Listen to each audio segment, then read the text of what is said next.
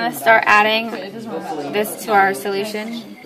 slowly, and we're gonna stir so we can tell if it turns a light pink to see if it reacted. It, you, once we put it in here, can, can I see it? Yeah, You can see it disappears right away. and we'll put this white sheet of paper underneath it so it's easier to tell.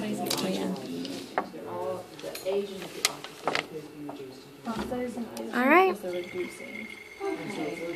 And then we'll record where it finishes from where it started. I didn't get yours graded, Josh. Okay. I'll do it at the end of class if you want. All right, and all right.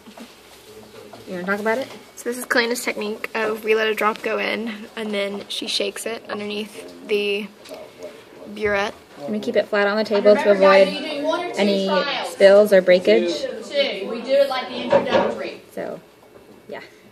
And set up your data table too. Did you get one done first? This is And stop it. this might be a Okay. while.